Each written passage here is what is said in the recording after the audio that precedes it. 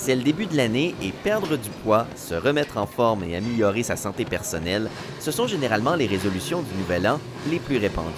Évidemment, ça se confirme dans les salles d'entraînement où on enregistre une importante augmentation du nombre d'inscriptions à ce moment-ci de l'année. Janvier-février, c'est vraiment la période des résolutions, donc la, la période de l'année où est-ce qu'il y a le plus d'achalandage dans les centres d'entraînement. Beaucoup de personnes partent avec des bonnes intentions.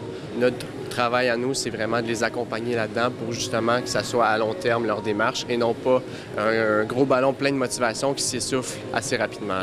Pour favoriser la persévérance, les experts recommandent d'abord de trouver une activité qui nous plaît. Ensuite, il faut identifier les contraintes de temps dans l'horaire quotidien, parfois chargé, et réserver des périodes exclusivement pour l'exercice. Et enfin, il faut se fixer des objectifs réalistes. Ensuite de ça, c'est d'établir des objectifs qui sont un peu plus à court terme, tout simplement pour garder le niveau de motivation de ces personnes-là dans le tapis tout le long du processus.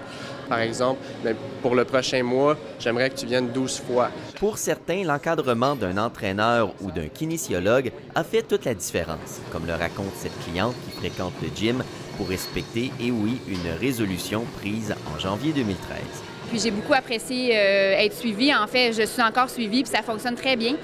Le gros avantage que j'y vois, c'est probablement de justement se faire un peu botter dans le derrière à chaque semaine. Malgré toutes ces astuces, environ le tiers des nouveaux clients qu'amène le nouvel an abandonnent à court terme. À ce moment-là, c'est nous. On prend un peu personnel parce qu'on s'est dit on aurait pu faire différemment pour euh, justement les motiver. Les gens sont de plus en plus euh, consciencieux euh, qu'il est important de faire l'activité physique et l'inclure dans leur mode de vie.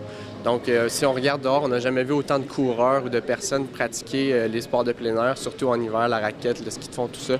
Donc, c'est de trouver l'activité, encore une fois, qu'ils aiment, qui va être facile de pratiquer et le plus possible pouvoir la planifier, cette activité-là.